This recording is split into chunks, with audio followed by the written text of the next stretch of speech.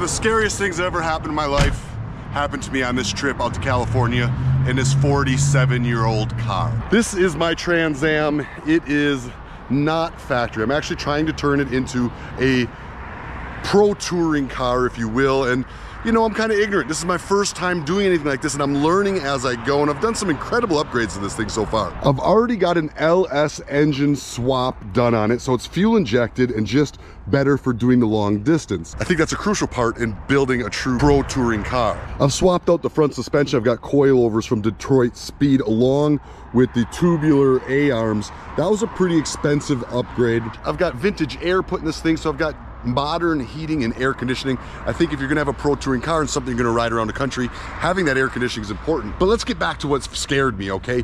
What scared me the most was I've toured this thing from Texas to Florida and back over a month. We did a lot of the repairs and a lot of the upgrades along that trip as things started to break but I hadn't gotten into the mountains. And on this trip, I took it into the California mountains outside of Malibu. And when I came down off those mountains onto the beach, I about had a heart attack. My brakes, I could smell them so bad, they stunk up the entire inside of the car. Right now it has factory disc brakes in front and drums in the rear. And let me tell you, that is not enough. That is not good. I actually thought I'd be okay because I had them all adjusted and pads done and tuned before I left, but I didn't even make it to Arizona before I ended up in the shop the first time with my brakes. I had a leaky brake line. It was bleeding fluid all over the place. First repair of the trip, about 600 miles in, got a brake fluid leak. So it ended up being just a loose fitting on my brake line. I could feel my brakes getting soft going down the road. And uh, I figured I better pull in here because I don't really want to send that girl through a fence. We got that fixed. We got back on the road and we made it all the way to California. But boy, when them things started smoking inside the car, it was uh, a little nerving for me because there's no shoulders. You can't just pull over. If you lose your brakes on a road like that, an old heavy car like this, it just picks up speed so fast. And it's an automatic, right? Which I like for pro touring because it allows me to go through the big cities and things like that and not have to deal with a stick shift. I understand stick shift is more hot rod but when you're doing a lot of touring, personally, I like the automatic. Well, I did make it back across those mountains and all the way out to Phoenix, Arizona here. And I started looking at brakes and what can I do to make better brakes and to make better stopping power and to have something that's gonna be more reliable for me. And I found an American made performance brake company that happens to be right here in Phoenix. And we are at their showroom and it is Baer Brake System. These guys uh, are American made brakes and they make brakes for race cars and high performance situations along with stuff specifically for classic cars like my Pontiac Trans Am. So let's get inside here and see what we can get fitted to fix my problem. Heck yeah.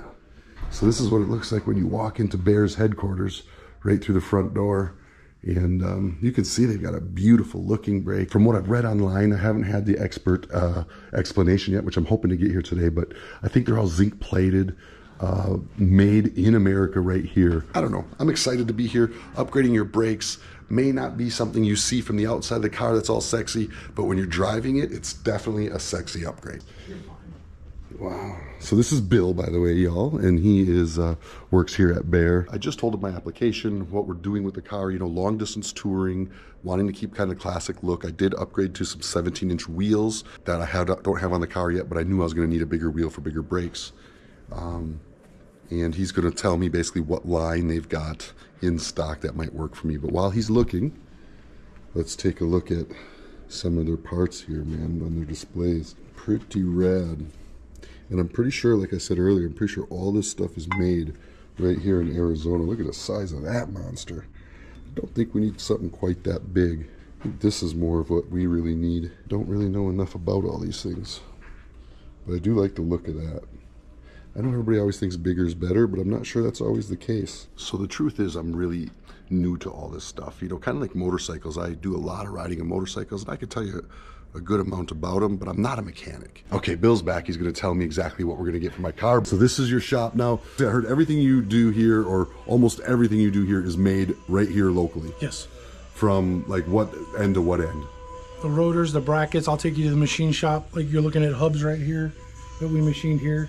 We outsource the, some of the calipers, uh -huh. some of the rotors. Okay. But for the most part, everything's made here and assembled here, Right in America, right in Arizona. Arizona. All right, let's take a look. This is our production. The guys are assembling systems. Bobby over there is doing rotors. He's putting hats on the rotors, bolting them down. And Tanner, Tanner, what you working on? So everything's built by hand, Yeah. piece by piece. So he'll put all the seals in, and then they'll do a pressure tech check, make sure there's no leak. That's a six P. It's our six piston two piece caliper. Okay. We powder coat that in house. It's all hand painted. The logo is. Wow, that's way cool. So in what application would a guy need a six piston caliper? Because I don't need something like that. He's doing autocross or track events. Autocross or track. Yeah. That's Or or they just got 18 inch or bigger wheels. Yep. And they want to fill that wheel up with brake. okay. Let's go to the shipping. This is actually your brakes. This is my setup right here. This is your setup. Awesome. We got spindles, and then the front front brake systems, calipers, rotors, pads, brackets, hardware, hoses, fittings, the master cylinder, prop valve, our brake fluid, and the rear system. So this is going to completely convert me to, Drum to disc. and this is going to be what size in front and what size in rear? 13 inch rotor up front with Oh. a two piston caliper, a 10 and a half inch rotor out back with a single piston caliper, and this will allow you to run a 15 inch wheel if you decide to go drag racing. Really? I know you said you got 17s. Yeah. But if you want to step it down and put some slicks on it or drag radials, this will clear that. What about the front? The front, pretty much a 17 inch or larger. 17 or larger. Yeah. Beautiful. Way cool. Thank you. This is production warehouse. This is one of our CNC machines. Oh, cool. So this is what they look like before they powder coat them. Yeah, this is this is one operation. That is awesome. and they're in there on the tombstone. Too cool, man. So this block of aluminum just fits in there, Yep. and then it comes and It goes cuts. it goes in as a square block. That's how it starts life. Oh, okay. Feel that? Woo. And then it And then they put it in there. Too cool, man. starts six piston.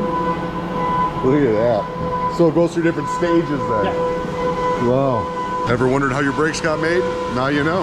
Dave, what you making? We also do parts for Holley. All right. So we're making it's like carburetor base plates. now, if y'all didn't know, I think Holley, would you say parent company? Yeah, they, they actually bought us. Yeah. Yep. So Ho- Holley bought Baer how long ago? A couple years, I think two years now. Two years ago now. So now Baer is part of the Holley team. Machine shop's pretty much done for the day. That's why it's quiet. Yeah, nothing wrong with that. So Got to send the boys home. They got to have their beer time. got beer time. Back here is where we make we make hats. And, and this is what they start out like this in this big block? Yeah. Big chunk of aluminum. That huge chunk of aluminum just to make that little part? just to make that little part. Wow. So if you ever wonder where the costs come from on this stuff, imagine what it costs to not only power all these machines, but then man, staff that actually understands how to run these machines, and then you gotta still buy all the material. This is how your aluminum comes in? Yep. Look at that. What is that, like a 14 foot stick, you think? About that? Yeah. That's our saw. One of them. These two. And then you stick it in there and they saw it down. Look at the size of this. This is our staging area. When the calipers get done in the machine, they'll come in here and get assembled. Different different systems, different Jeez. companies. And uh, as we need them, we pull them, and then they go to powder coat. So how does this exactly work, anodizing? Really just dye. Yeah, it's just dye. You're just dyeing the metal. Yeah. So you're basically washing getting all the material off of it, Uh-huh. All It- the all, whatever. grease and Any type of any type of extremity, anything that could be attached to it grease-wise, right, and then this is just opening the pores in the aluminum. and you do that by elect. It's electric, right? Yeah. So you throw amps into it, and that opens up the pores. Acid. Now you're opening the pore of the metal, Yeah. and then from o- uh, once you got the pore open, then you bring it back there, Get the battery acid off. clean it again. Yeah, the uh, baking soda neutralizes the acid, Okay. and then rinse, dye. and rinse, and then you just soak it in the dye. Yeah. And it's percolating because The because it's heated to a certain temperature, so if it was just a standstill, but the bottom layer usually will be colder than the top, so we So- circulate it just to keep the heat consistent. it's just to keep the heat consistent, so that the dye sets better. And then after it's done being dyed, then is it you just wash it off again, or what do you do? Yeah, like it's going right now. So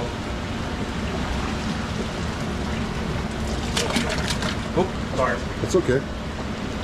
So now you're just rinsing it. Uh, go on sealer. And now this is a sealer. Yeah. And that seals the color in. Yeah. Put the, another layer over it. Wow. And then from there you rinse it one more time. Yep. And then after that, pull them, dry them, and And someone they're going on someone's car. yep. Pretty cool, man. Ever seen anodizing done before? I know that it's a process similar to powder coating in the fact that it changes the color of the metal, but that's all I knew. But y'all also do do powder coating, right? Yep, we do it here. Stick Right. in all the vital areas. So those stickers will keep powder coat from getting onto those surfaces. Yeah. That way everything fits perfectly. Ooh, and the temperature, boy, you can feel the heat. It's, it's nice. We got red still in the oven.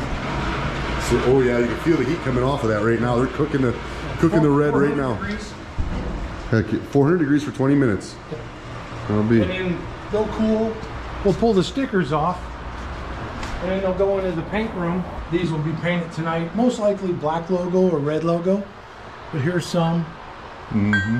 So they're all hand painted in there. Yeah, we use a syringe.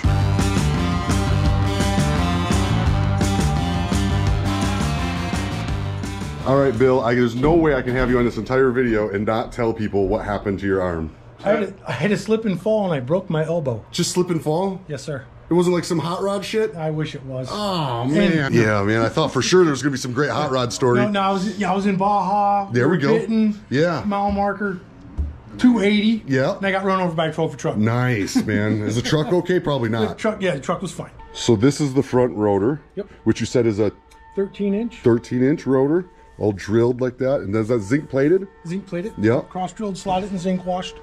And then we're going to get the classic calipers, which is a two piston PBR caliper.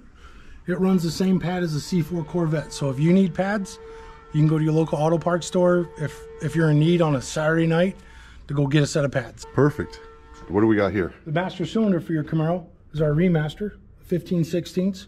Uh, it'll have the master and the prop valve, the hardline kit. And what's the advantage of switching from my factory master to this master? Well, you want to get the, the master cylinder dialed in with the calipers that you have on your car. Okay, so you always want to pair the two. Yeah, you don't want to do one without the other. Yeah. Okay, cool, man. All right, well, I'm going to pull my car around. We're going to get my parts loaded, and I'm going to have some new brakes on this car, man. I hope you guys are enjoying learning this world with me. I'm a motorcycle guy coming over and learning this car stuff. You guys, we're taking this thing on a cross country tour, and we're going to do entire Route 66 top to bottom on the Shakedown Show. Every night there's a car show, and I know I'm going to make it the whole way, at least be able to stop all the way along, thanks to my new Baer brakes.